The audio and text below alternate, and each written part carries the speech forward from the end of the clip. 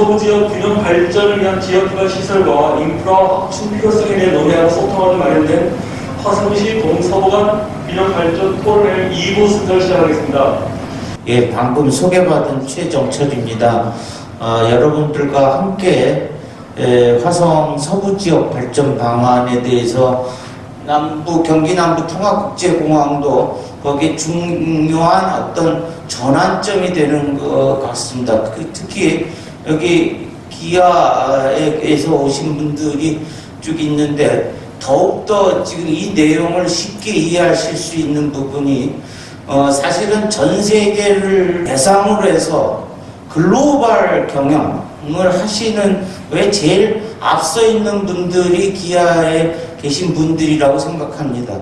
세계 중심이 됐을 때 이것을 준비한다. 근데 그때 가서는 늦다는 말씀을 드리는 게 공항을 하나 만들려면은 한 10년 정도 걸립니다. 그때 이미 아차 2025년, 2030년도쯤에 이거 늦었구나, 잘못됐구나, 그때 시작하면 이미 늦다는 겁니다. 도대체 화성시는 서부권 발전을 위해서 무엇을 하고 있는가? 직접적으로 어, 자기 이기주의라고 볼 수도 있지만 대기아 자동차가 위치해 있고 현대 남양연구소가 위치해 있습니다.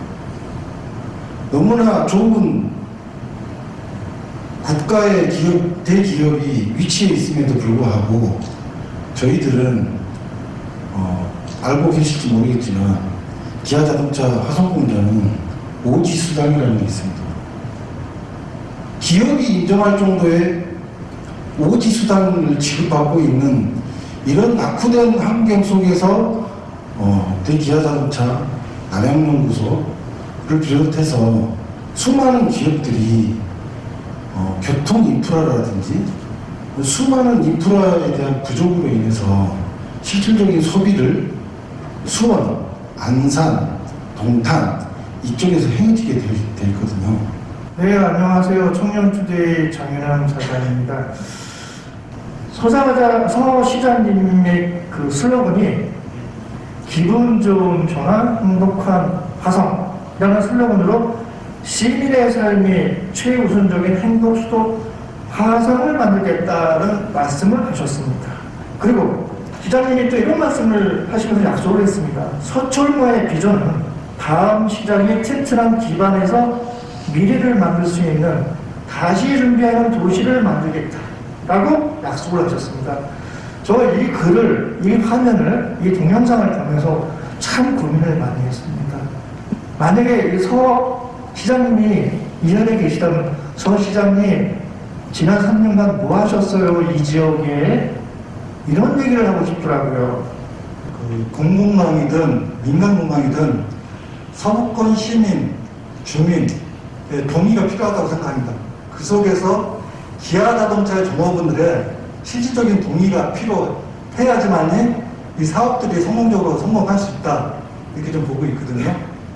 이게 좀 양면성을 띈 자료라고 좀 말씀을 드릴게요.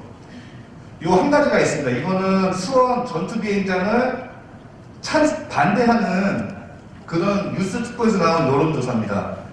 이게 뒷장에 보시게 되면은 이거는 찬성하는 여론조사의 결과입니다. 근데 이걸 보고 지역을 조사해 봤더니 지역이 반대하는 쪽은 서부 쪽이고요. 찬성하는 쪽은 동부 쪽으로 가깝습니다. 제 지역까지는 지역 감정 때문에 말씀을 못 드리겠고요. 제가 왜 그걸 강조했냐면은 17년 동안 아무것도 안 했다 이거죠. 지역 주민들이 아니면 지역 발전을 위해서 정부나 화성시에서는 무엇을 하고 지금까지 주민 고통이나 서부 발전을 위해서 아무, 아무것도 하지 않았다. 저는 그렇게 바라보고 있습니다. 제가 지금 가장 대묻고 싶은 질문이 동부 발전하는 동안 서부 발전은 왜 안 됐는가? 제가 화성시장 입장에서 한번 발언을 한번 하겠습니다. 아까도 말씀드렸지만은 저희 종업원 전체가 한 1만 5천 명 정도 되는데 그런데 거기는 기아차 직원만 있는 게 아니죠. 협력업체들이 많죠. 그 가격 수를 또 치면은 2, 30만 명 정도 됩니다. 근데 제대로 된 인프라 구축이 없기 때문에 이 기업체는 화성에 있는데 여기서 자동차를 만들고 월급을 받습니다. 근데 소비는 안산, 수원, 평택, 오산 가서 소비합니다. 그 화성 시장 입장에서는 비용 손실이죠. 이런 돈들이 화성에서 쓰여져 있는데 그렇지 못했다. 몇십 년 동안. 그럼 뭔가가 상당히 문제가 심각하다. 전 그렇게 보여집니다. 그래서 어쨌든 이번 어, 통화국제공항 유치권에 대해서는 화성시장이 아까 말씀드린 대로 세일즈맨이 돼서 적극 본인이 유치해야 된다.